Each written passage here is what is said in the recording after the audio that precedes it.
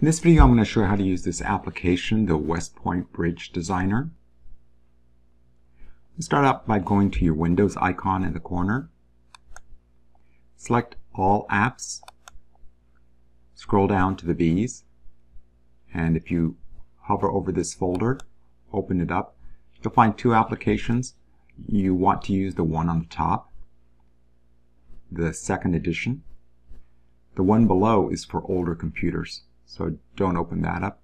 Hover over the first icon, right mouse button, more, and pin the application to the taskbar. Mine is already pinned, so it won't let me pin it again. You notice I have my application here pinned to my taskbar. Select the application and open it.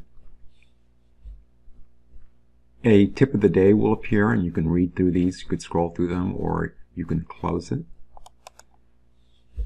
You have three options at the main menu. You can create a new bridge design, open a sample, or if you've already started working on your bridge and come back on your second day, you can load your bridge and continue working on your bridge. I'm going to start out by loading a sample.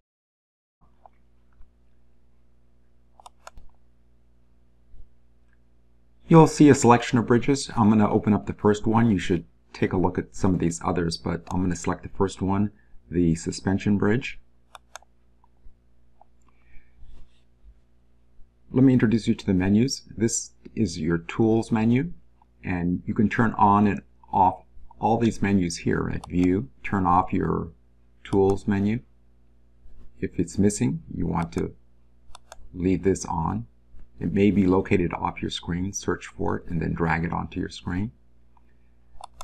And this member list, you could turn it off.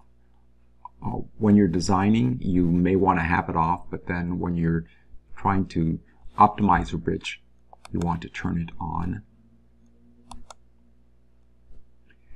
So these four icons, this is your joint tool, your member tool, and this is your select tool highlight this for right now.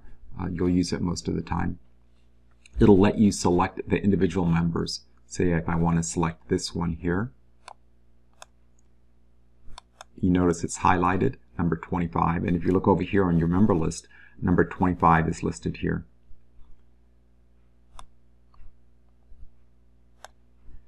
And uh, so this tells you what this member is. So you notice along the top here, it tells you also it's carbon steel. There are different grades of steel. You can go to a high strength steel or a quench and tempered steel. Carbon steel is the least expensive and the quenched tempered steel is the most expensive. The idea is to reduce the cost of your bridge. So you may want to uh, save the more expensive steel for the members that are under the most stress. You have two options. You could either make it a solid bar or a hollow tube. If a member is under compression, a hollow tube will do. If it's under tension, if it's being stretched, you'll want to use the solid bar. That's better. Save the solid bar for members that are under tension.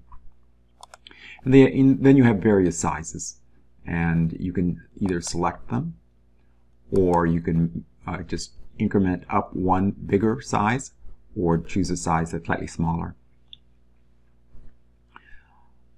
So all these that I've just discussed are located here on the side. Uh, your member, whether it's high strength steel or a tube, the size, the length, and so forth.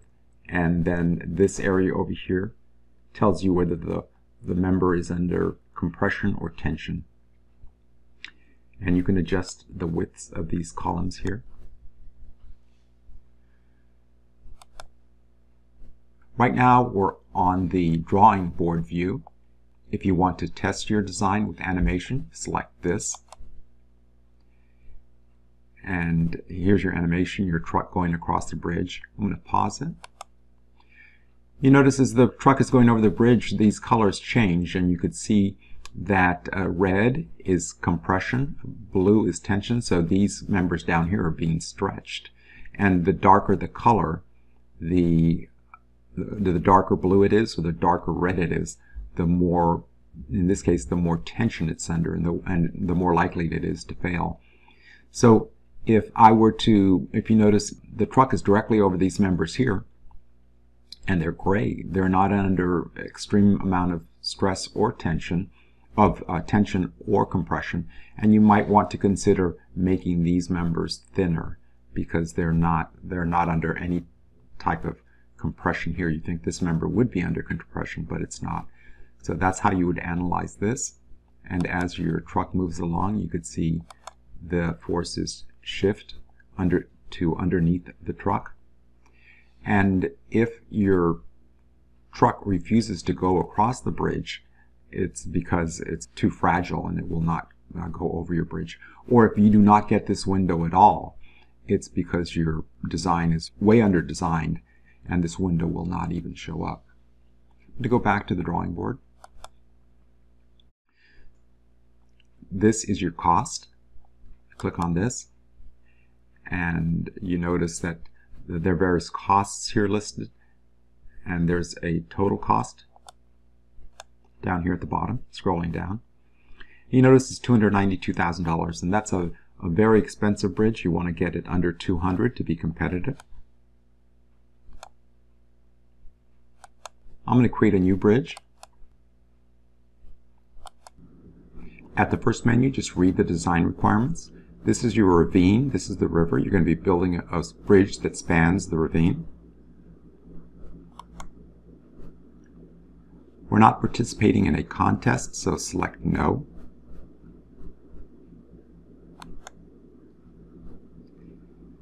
Set your deck elevation. This is your deck, and this is at grade. The, the higher the bridge is, the longer it is. If we were to go, say, go down to 12 meters, much lower, the bridge is shorter, but you have to excavate all this soil with bulldozers. And if you come down here and look at your costs, you notice it's $101,000 and that the excavation costs to remove this amount of soil is $54,000. So you've very quickly escalated the price of your bridge. I'm going to set this back up to 24 meters, but you can set it wherever you like.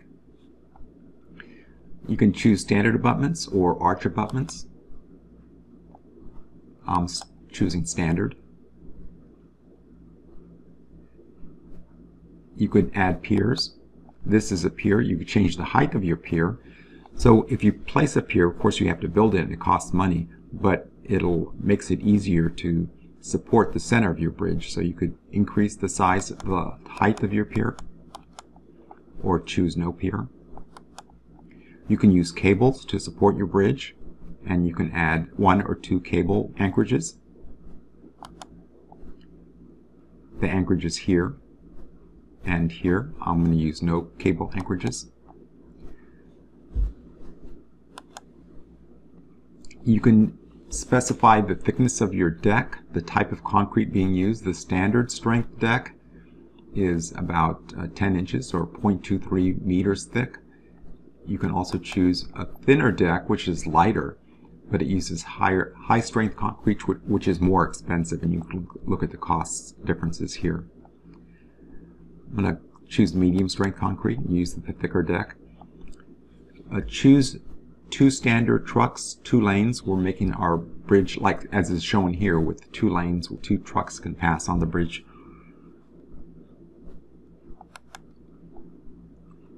You could pre-select a truss. I'm going to choose the Warren truss. But you can start out with none and draw yours as you like. Put in your name here and your student ID here.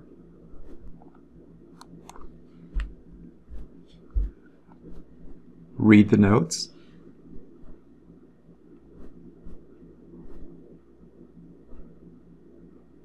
Select Finish.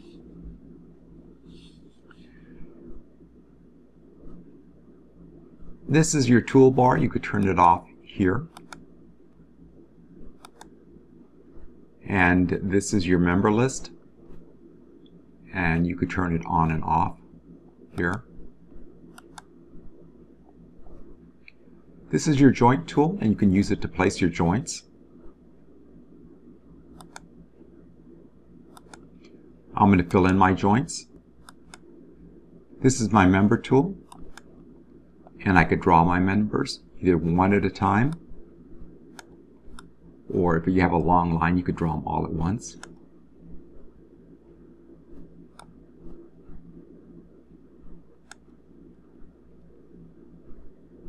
I'm going to draw these angled ones.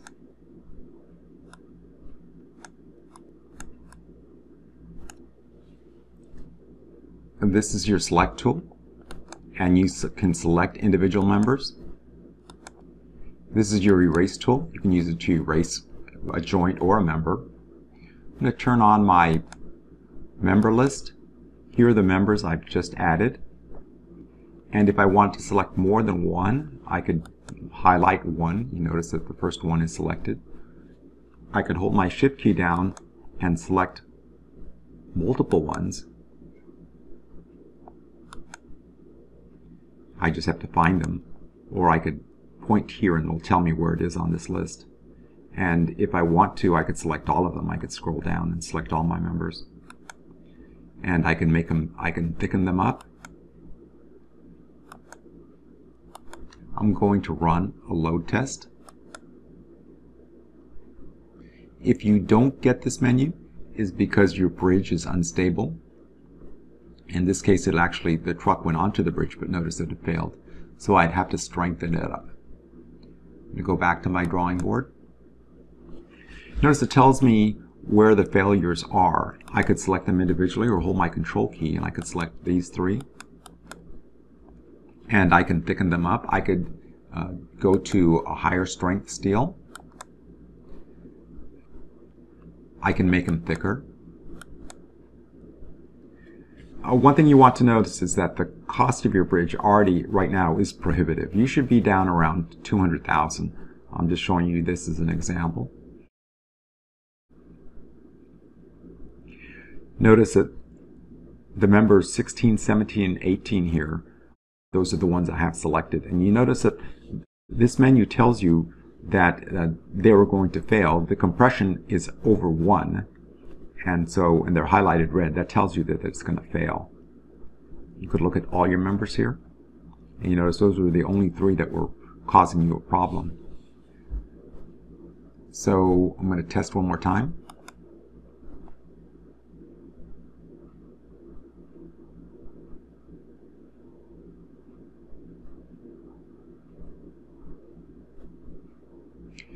And that time it was successful, but still I want to point out again, the cost is prohibitive. We're going to have to lower the price of, of your bridge to be successful. Go back to your drawing board and look at each individual member. If you notice some of these are under compression and some of them are under tension. And some of them, like this one right here, has uh, sees absolutely zero, zero compression and very little tension and you could probably make these thinner and that would save you some money. The ones that are under a lot of stress, you may want to thicken them up change the, the thickness of them to reduce the overall cost of the bridge. Once you're done with your bridge, go to File, Print, choose Adobe PDF, Go to Page Setup, choose Landscape, and Print. Append your initials to the file. Rotate your page.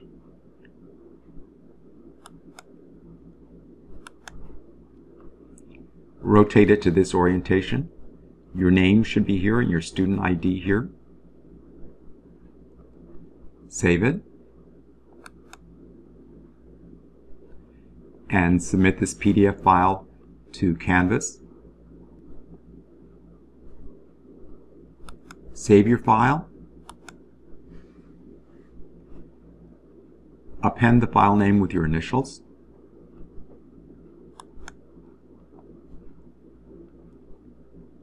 Go to your Documents folder where you stored your file and this is my file, the one I just saved. and submit this also to Canvas to complete your assignment.